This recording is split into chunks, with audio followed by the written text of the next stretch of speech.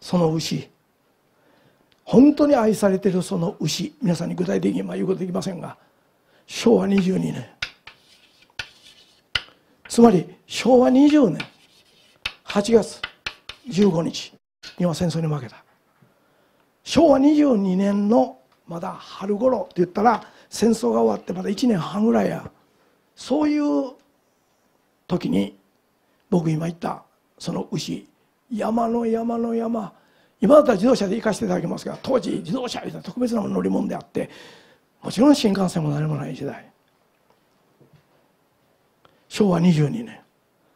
日本が戦争に負けて貧しさの中にあると思ったらいいや。その中でもユダヤの人は本当の供え物として牛をちゃんとやってたんです。もちろん食べました。特にレビ人はその牛を世話して食べたんです。レビは。だから差別されてあいつらいたやって言われて屠殺したりやってくれてる人は本来はレビ人なんです。昭和天皇は昭和22年にその牛たちと対面した。天皇とは何かレビです。はっきり分かってる。そして天皇がその牛の中で食べなさるある部分がある。皆さんだったらあのなんかどこそこの肉がおいしいとか柔らかいとかいろいろあるか分かりませんがその中のある部分です。昭和天皇は。そこを食べる。旧約聖書を見たらレビキっていうのがあるんや。その中の祭司たちが食べる部分はこの肉だ。ってはっきり書いてある。3500年前。今の日本の天皇はそこだけを食べます。これが日本の真実です。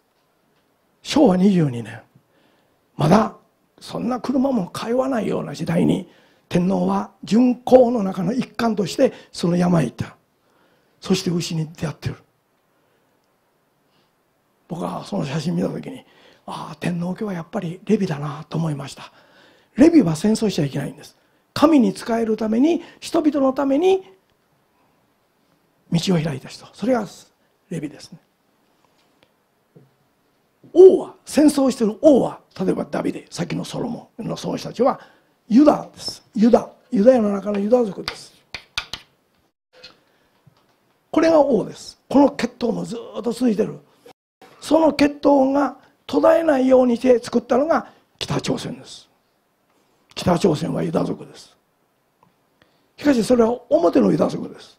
本当のユダ族で日本のあるところで血統がずっと続いてです。ずっと。後醍醐天皇って皆さん知ってらっしゃると思いますが後醍醐天皇は血統ですね。だから自分の子孫がずっと将来大室虎の席になって明治天皇になるわけです。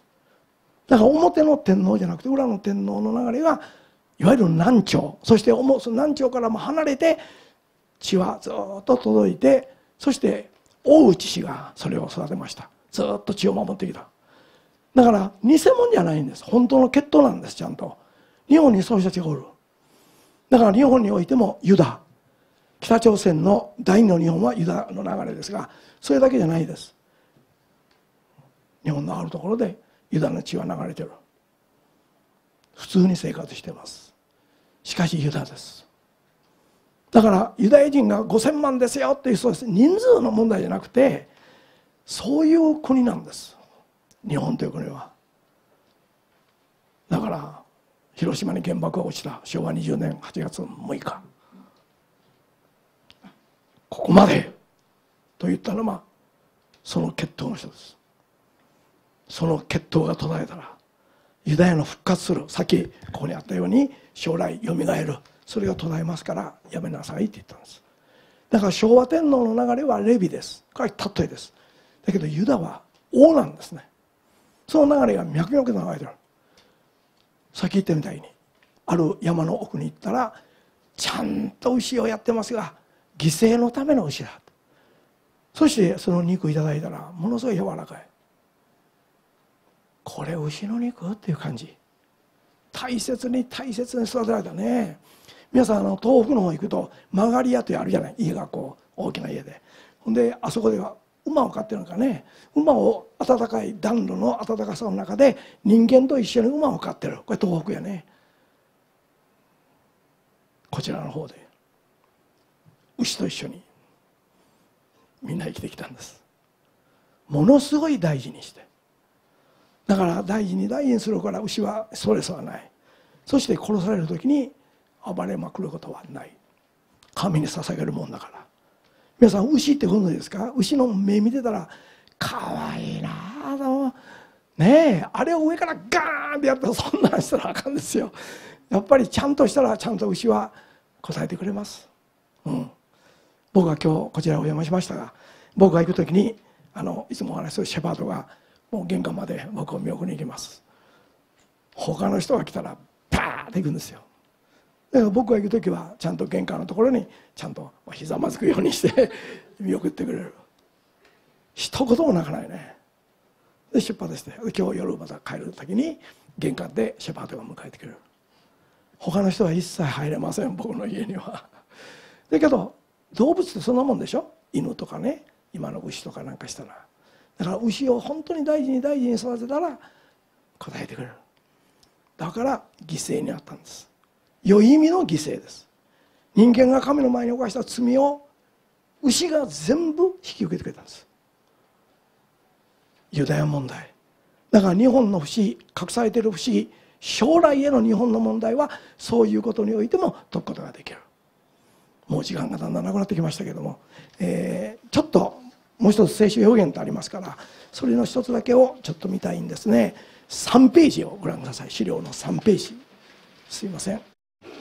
もう10分ほどで終わります。黙示録ばっかりです。右のページの2ページは黙示録。左のページ3ページも黙示録。聖書の中で一番新しい部分ですね。と言っても今から1900年ぐらい前。その頃に書かれたこのヨハネの黙示録を読んでると将来がみんな分かるんです。もし間違ってたら黙示録は消されたでしょう。だけど今も生きてるということはよっぽど値打ちがあるんですね。そこでどっから見ましょうかね。3ページと言いましたからそのヨハネの福音書16って書いてある。真ん中の段の16第6の者がその鉢を大ヨラテス川に傾けた。するとその水は火の出る方から来る王たちに道を備えるために枯れてしまった。と書いてある。これ何のことを言ってるかと言ったら大ヨガラテス川という言葉ですね。これが最終戦争の場所なんです。つまりハルマゲドン。皆さんハルマゲドンということはもうご存知と思いますが最終戦争の場所。東から来る軍隊と西から集まる軍隊が激怒する。これハルマゲドン。それは中東だって言ってるんです。ちょっと見てください。もう一度。12第6の者がその鉢を大ユーラテ川に傾けた。だからね中東大ユーラテス皆さん今パッと思うのはイライラクの問題ね。ああそう。だから聖書を知ってる人は信じてるかどうかは別だよ。知ってる人はイラン・イラク戦争あるいはこの前のイラクサダム・フセインが殺された。そしてイスラエルがイラン攻撃を開始する。ああ中東だ。だからいよいよ世界は決戦の時を迎えているなっていうのを読み取れる。もう一遍言いますけどもし聖書が間違ってたら消されたはずです今も生きてる。これが世界の人々の将来を見る見方です。13また見ると竜の口から獣の口から偽預言者の口から要するに東から来る軍隊とは逆だね。竜獣偽預言者の口からカエルのような3つの汚れた霊が出てきた。しかしあごめん。これらは印を行う悪霊どもの霊である。神に従う霊じゃないと。西の方から来るのはね。もっぺん12すいません。第6の者がその鉢を大ヨラテス川に傾けた。するとその水は火の出る方からと書いてあるでしょ。東から来る。17からじゃあごめん。1314以下は違う。逆の勢力。だからさっき言ったように東と西の勢力は中東でぶつかるわけです。ちょっとすいませんが。だから皆さんにこういう方向に時代が動いていると言ったじゃありませんか。